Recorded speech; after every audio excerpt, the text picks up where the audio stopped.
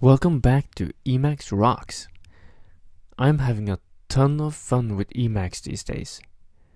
The extensibility of our magnificent editor, ah, it's pure distilled joy.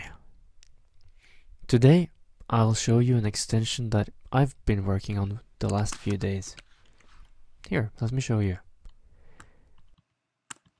Mark, mark, mark, and change.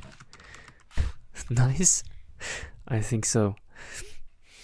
I call it Mark Multiple. It's a library to allow extension writers to mirror fields inline. And I've made a couple examples. Here's another.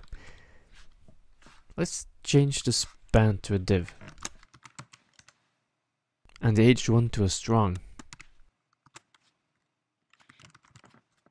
And look, it even finds the closest tag.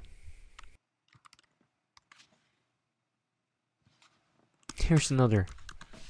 In the first episode I did string rectangle. Now it's in line. Emacs is awesome.